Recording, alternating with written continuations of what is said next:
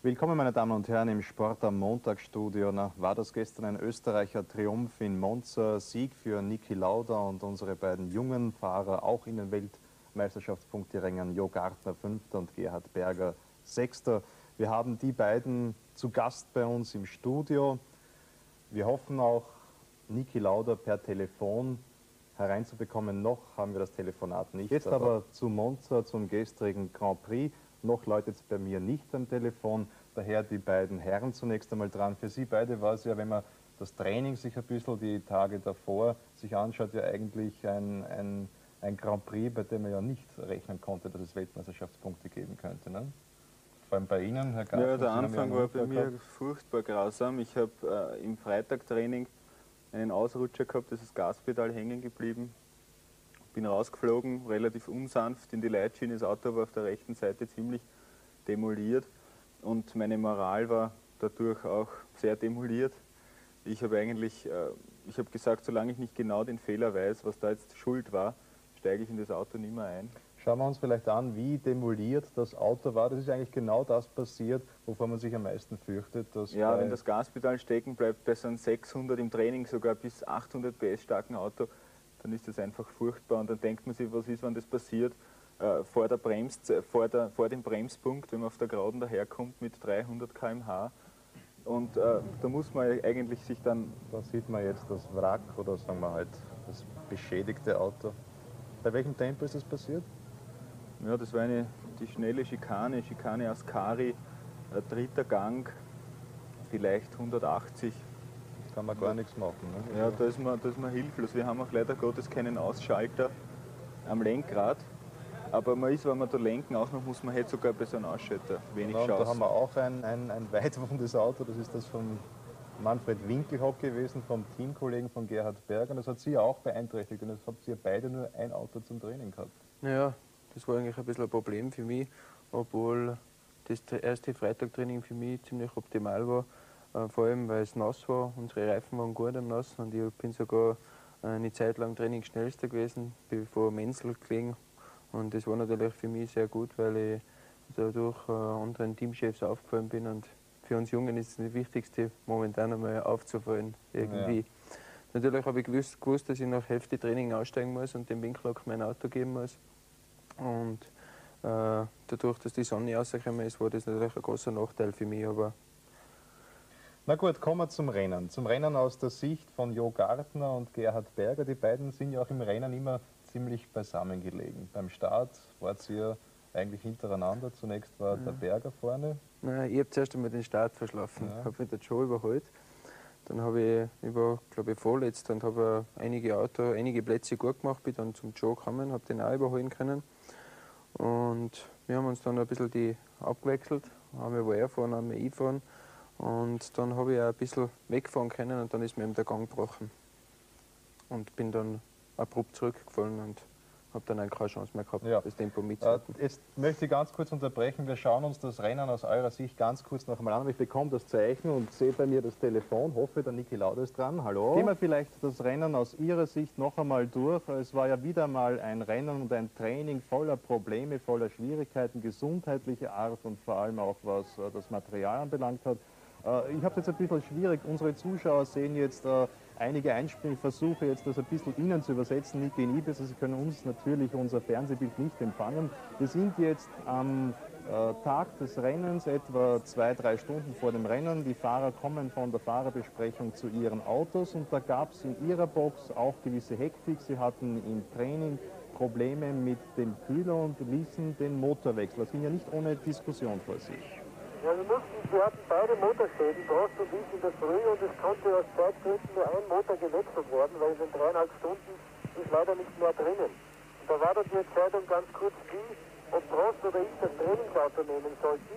Und es wurde mir zugespielt, wo der Recht dann protestiert hat mit Recht und gesagt hat, das Trainingsauto war das von Prost das Wochenende. Ich bin nämlich keinen Meter gefahren möchte nicht mit einem Auto mit dem ich nicht gefahren bin, ins Rennen gehen. Äh, der Ron Dennis, wir hören jetzt gleich ein Interview mit ihm, war, naja, nicht ganz erfreut von der Entscheidung.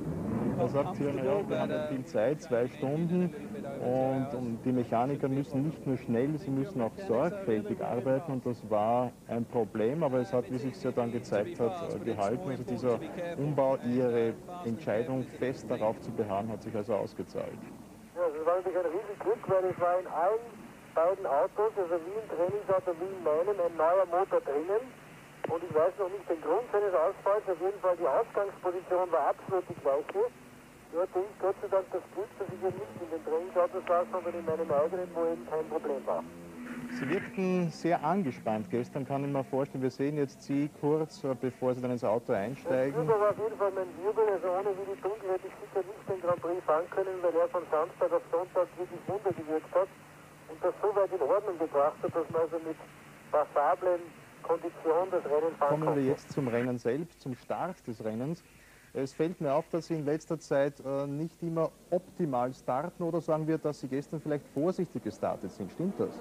Gestern extrem vorsichtig gestartet aus dem Grund, weil unmittelbar nach dem Start eine ganz enge Schikane kommt, wo es normalerweise immer zu Kollisionen kommt. Ich habe versucht, mich da aus jeglichen Geräten herauszuhalten, bin aber mit einem Wagen, den ich jetzt nicht mehr weiß, mit dem linken Vorderrad leicht zu schieben. Müsste ein, ein Alpha gewesen sein. Und äh, bin dann deswegen das Rennen auch relativ langsam angegangen. Noch dazu hatte ich eben Angst, dass mir der Wirbel wieder herausholt. Vicky, darf ich Sie kurz unterbrechen? Wir sehen jetzt hier im Bild äh, gleich den Ausfall von einer Prost nach äh, drei Runden, also gleich am Beginn der vierten Runde. Was haben denn Sie in dem Moment gefühlt, wo Sie natürlich registriert haben, das ist meine Chance? Ja, das war so eine ganz komische Situation, weil das natürlich Prost ganz am Anfang passiert ist.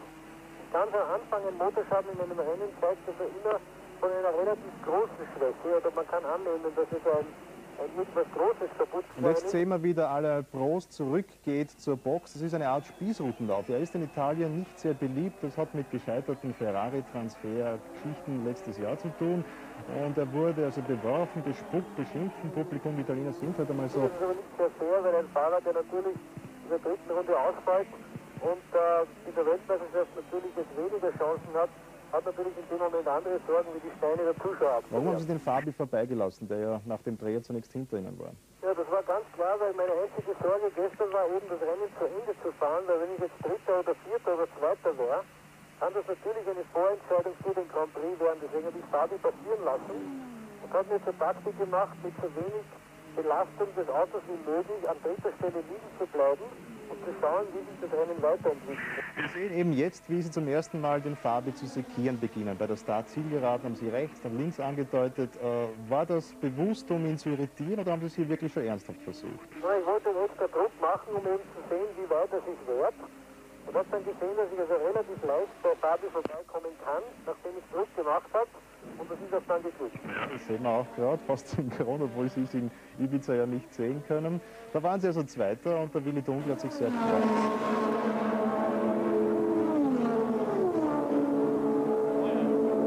Willi Dunkel, die letzten zehn Runden werden die schwierigsten sein. Lauda ist gerade auf Platz 2 vorgefahren.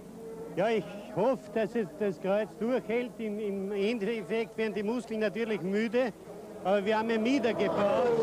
Und ich glaube, ich hoffe, ich hoffe, dass das Mieder aushält.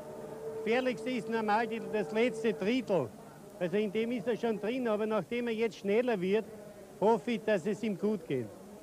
So, Sie waren also zu diesem Zeitpunkt Zweiter und dann sind die schnellste Runde gefahren und haben den Town B schon vor sich gehabt und den auch relativ problemlos, wie es den Anschein hatte, überholt.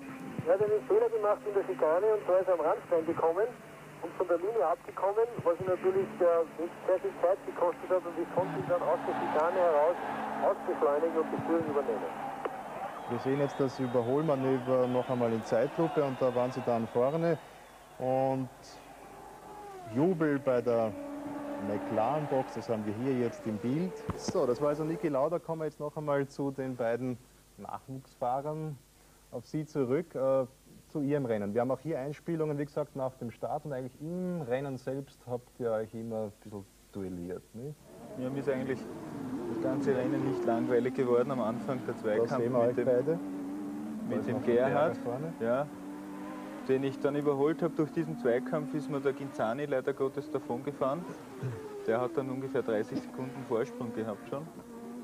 Äh, bei mir haben dann auch, äh, ja, da bin ich eine Zeit lang recht gut herumgefahren, da habe ich dann auch meine besten Rundenzeiten gemacht, bis meine Reifen angefangen haben nachzulassen, den Grip zu verlieren. Dann sind die Rundenzeiten natürlich langsamer geworden. Ich habe dann ein paar haarige Situationen äh, gehabt. Äh, ich habe äh, großes Übersteuern bekommen, habe dann ein paar Mal... Darf ich kurz unterbrechen? Ja, das ist jetzt der Teamgefährte, der Genzane, dem ist auch ja, der, der rollt dann eine Runde vor mir ohne Benzin auf. Spontane Reaktion gestern? Ja, da war ich dann natürlich überglücklich, wie ich erfahren habe, dass ich Fünfter bin äh, nach diesen Umschlägen des Wochenendes. Horchen Sie sich selbst zu, bitte. Sie sind noch über die Ziellinie gerollt als Fünfter. Ja, ist die Hälfte von der letzten Runde ist mir der Benzin ausgegangen. Und dann bin ich gerollt. Ich habe mir gedacht, ich muss schieben. Ich habe schon einen Gurt aufgemacht gehabt. Dann habe ich nochmal angestartet und das ist sich noch ausgegangen. Ich bin die letzten Meter schon gerollt. Niki Lauda hat gewonnen. Super, super. Ein Danke Österreich. Riesig. Damit ist der Niki ja mehr oder weniger Weltmeister. Prost ist ausgefallen. Habe ich gesehen, sein Auto. Super, riesig, freue mich. Gratuliere. Danke. So, das war es gestern. Ja, es waren bange, bange Sekunden, wie man der Benzin, ich sehe äh, von der Box, die haben natürlich gewusst, dass der Ginzani ausgerollt ist. Eine Runde vor Schluss haben wir noch das Low gezeigt. Ich habe aber schon vorher ein bisschen, äh, bei Höchstdrehzahl bin ein bisschen vom Gaspedal weggegangen, um eben Benzin zu sparen. Und in der letzten Runde habe ich mir gedacht, jetzt kann eigentlich nichts mehr schief gehen. Diese eine Runde wird doch dieses verdammte Auto noch fahren. Und äh, einen Kilometer vor dem Ziel, auf der langen Geraden zwischen Ascari und Parabolika, stirbt der Motor ohne Vorwarnung ab. Und ich habe mir gedacht, das darf nicht wahr sein. Und bin dann noch gerollt und habe mir gedacht, jetzt schaue ich aber mit Schwung, wie weit ich mit dem Schwung noch komme. Aber in der Parabolika habe ich gewusst, das geht sich so nie aus. Habe dann die elektrische Benzinpumpe dazu geschalten, die erst seit Monza in dem Auto eingebaut war, weil wir immer Startschwierigkeiten gehabt haben. Und die habe ich dazu geschalten und habe mit dem zweiten Gang das Auto nochmal angestartet und es ist wirklich nochmal angesprungen. Also mit dem letzten Rucker die zwei ja. WM-Punkte noch ergattert. Ja. Der Motor, Punkt, wir sind ein bisschen knapp schon in der Zeit, wir haben ja noch Zeit zum Plaudern beim Tor des Monats. Die beiden Herren werden auch äh, mitrichten. Einen Punkt im zweiten Rennen für Gerhard Berger in einem Team, das seit 37 Grand Prix keinen Punkt mehr gemacht hat. Das muss doch was Schönes sein. Ja, ist optimal zweimal gefahren, zweimal angekommen, einmal ein Punkt.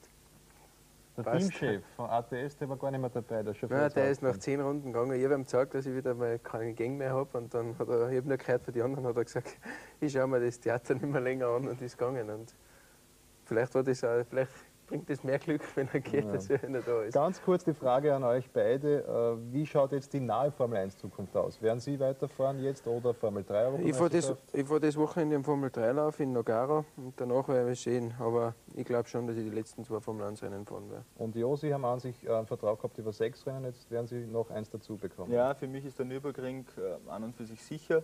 Äh, wie es dann weitergeht, Estoril, da müssen wir noch diskutieren. Aber es laufen mir jetzt schon die Verhandlungen für nächstes Jahr und da hilft mir natürlich dieser ja. fünfte Platz sehr weiter.